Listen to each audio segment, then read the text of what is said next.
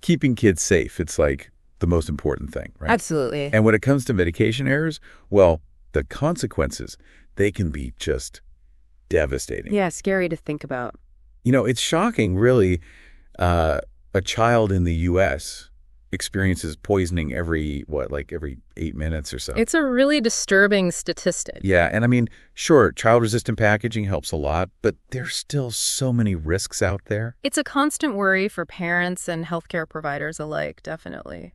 So today, we're going to zero in on some medications that are particularly dangerous for kids.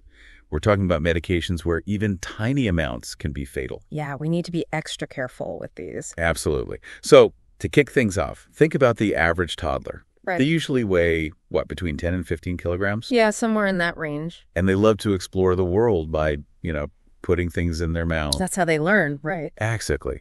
So it's crucial to think about all the medications in the house, both over the counter and prescription. You really have to be mindful of everything.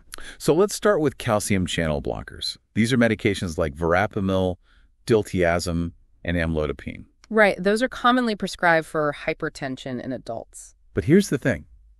A dose for a 200-pound adult, way too much for a 40-pound child. Oh, absolutely. Just one pill can be deadly. And for some of these medications, the potentially fatal dose is just 15 milligrams per kilogram of body weight. That's a tiny amount, especially for a little one. And to make matters worse, the highest tablet strength available is 360 milligrams.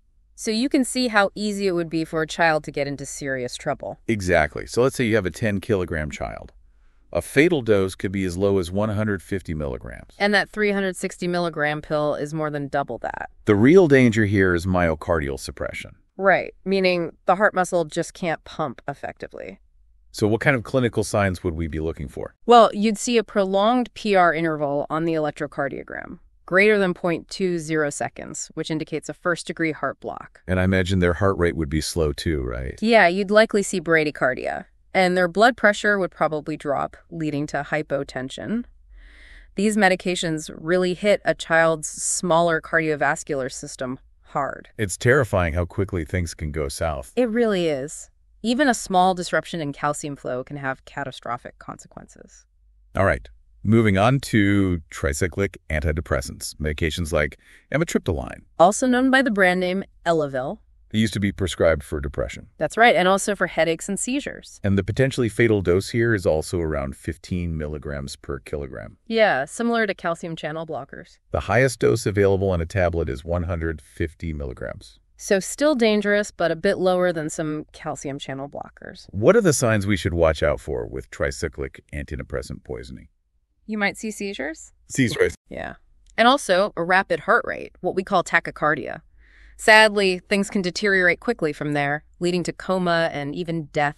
These medications are really messing with the heart's rhythm. They interfere with sodium channels and alpha 1 adrenergic receptors, disrupting the heart's electrical activity. So in an adult, we'd look for a widening QRS complex on the EKG, right? Exactly. That's a key indicator. Now, on to antimalarial medications like chloroquine. And hydroxychloroquine, which we heard a lot about during the COVID 19 pandemic. The potentially fatal dose for these is about 20 milligrams per kilogram. And the highest tablet strength available is 500 milligrams. Okay, so these medications work by blocking sodium channels, right? Yes, and they can also damage the retina. Which means, Vision loss or blurred vision. And the main concern for the heart is a prolonged QT interval, Right, which can lead to torsades de pointes, which is, a type of ventricular tachycardia, and that can progress to ventricular fibrillation and ultimately death. I imagine a child's developing eyes might be even more vulnerable to the toxic effects. Yeah, that's definitely a concern. Okay, let's move on to opiates.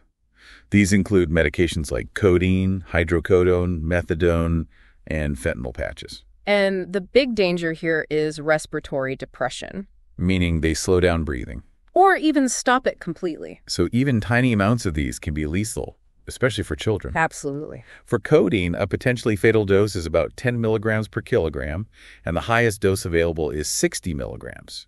For hydrocodone, it's between 1 and 5 milligrams per kilogram with a max dose of 30.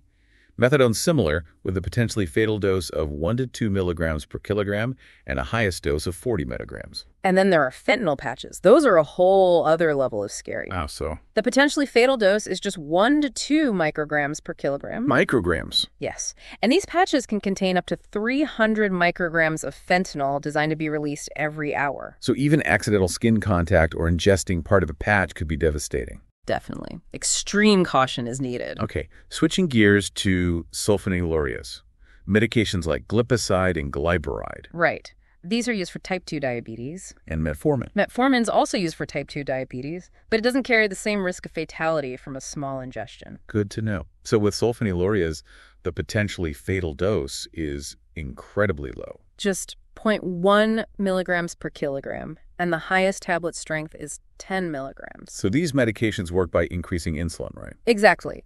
They stimulate the release of insulin, which can lead to severe hypoglycemia if a child overdoses. Meaning low blood sugar. Yes. And that can lead to seizures, coma, and even death. So if you suspect a child has ingested a sulfonylurea, you need to act fast. Absolutely. Check their blood glucose immediately and monitor them closely for any drops in their blood sugar. Time is critical here. It really is. All right, next up, antiarrhythmic medications. Examples of these include procainamide and lidocaine. The potentially fatal dose is around 25 milligrams per kilogram.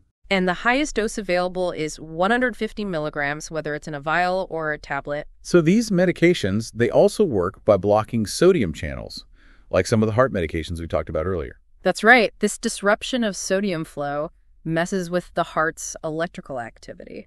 And I imagine we'd see changes on the EKG. Definitely. You'd see prolonged PR, QRS, and QT intervals.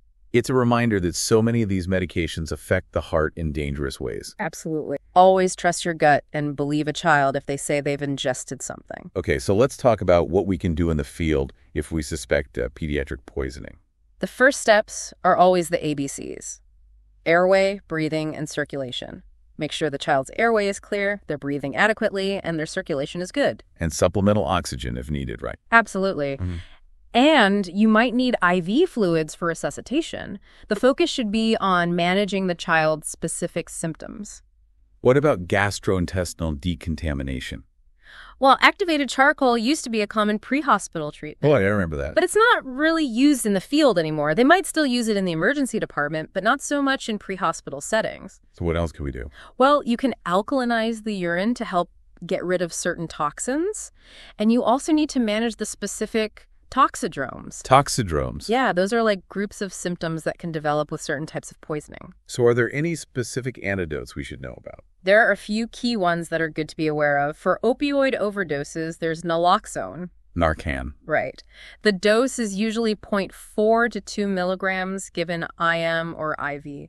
And what about tricyclic antidepressant overdoses? If they're causing significant cardiac toxicity, we can use sodium bicarbonate. The dose is 1 to 2 milliequivalents per kilogram. And for sulfonylurea overdoses?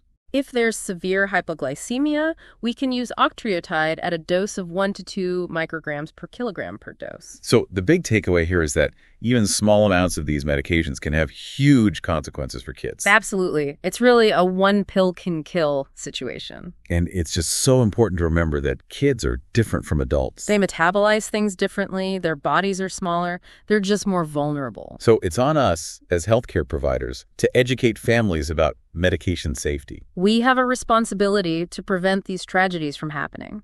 So before we wrap up, I want you to think about this. Hmm? What specific steps can you take in your practice to make things safer for kids? What can you do to prevent accidental poisonings? It's a question worth pondering. It really is. We all have a role to play in keeping our youngest patients safe.